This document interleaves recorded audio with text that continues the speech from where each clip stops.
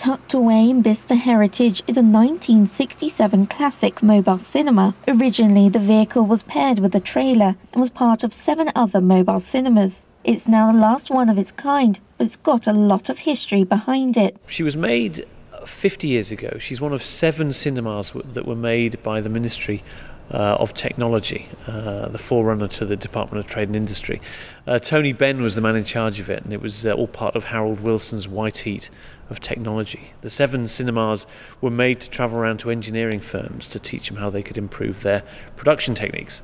And uh, the scheme lasted for seven years, and the cinemas all had a different region of the uh, of the country to work. Audrey, this one, worked up in Scotland and uh, travelled around for those seven years. Um, at the end of those seven years, the uh, the next government disbanded the scheme and sold them all off to private owners. Known as Audrey, the cinema was sold to a lord along with its trailer. It was used to promote the Flying Scotsman, and the trailer was later donated to a worker to be used as an office. She was owned by Lord McAlpine. Now he'd um, he's a mad, uh, keen steam train fan, and uh, he uh, had heard about the plight of uh, the famous Flying Scotsman in America.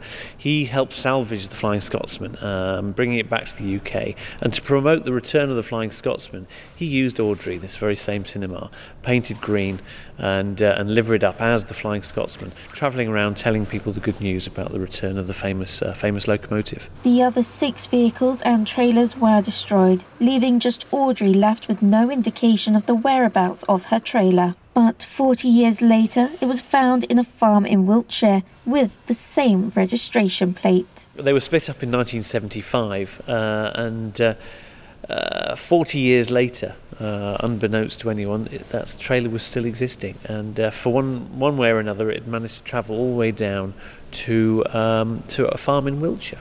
And uh, uh, the profile that Audrey had had uh, meant that people recognised it and understood the, kind of what it looked like and all the rest of it.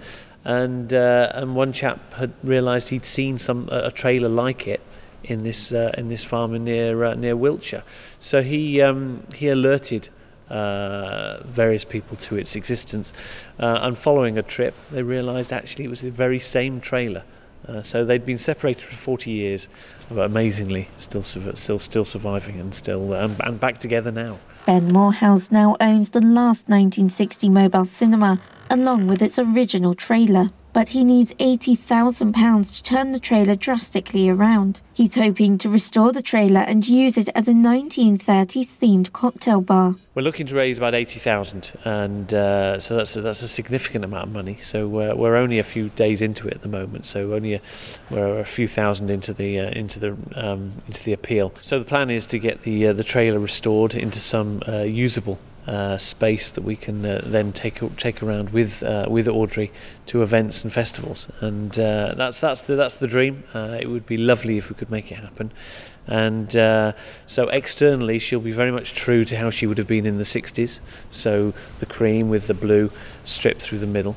Uh, but internally, I'm going to use the same license that Ollie took with the uh, the cinema, and uh, get uh, 1930s themed kind of event space. Over the years, Audrey has had new seats added, a fresh light blue strip on the side of its exterior, and a new projectory system installed. It holds 24 seats and has been welcomed by many festivals. Kirstie Chambers, That's TV.